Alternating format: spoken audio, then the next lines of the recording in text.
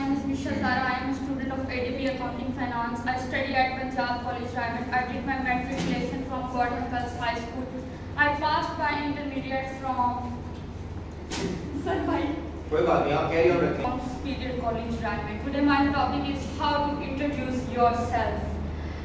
Let's start with formal greetings. Obviously, hello. Hello can be both formal and informal situation, but it's fine to formal situation. You have you have said good morning, good afternoon, and good evening. I have said good morning in the evening and good evening in the morning before. One thing to note is the use of good day in British English. It's considered very old, very old saying, very, very, very formal. It's not commonly used. However, it is commonly in Australian English. The kind, the kind of shorten is down to good day, good day. I would say that good day, and I would, and I wonder what Emma from Eng- English will think of me saying good day. Will she approve? I will ask her. But this, uh, but good day is more informal. But this again is if you are in Australia.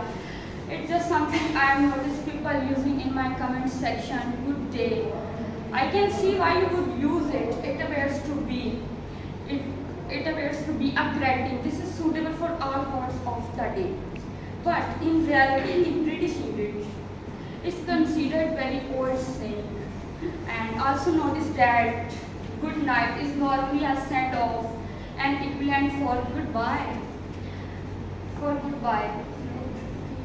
आप चलते रहें कोई बात नहीं ठीक है You say it when you are leaving instead of when you are greeting with someone. If you are introducing in the night time, you would say good evening. Now let's talk about informal greetings.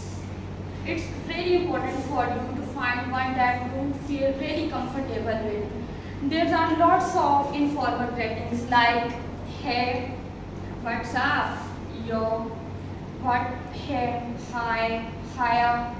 There's one what's good, which is American, which is quite American one. Honestly, if I said yo when I was introducing myself in an English class or a less formal situation, I feel very stupid because it does not suit me.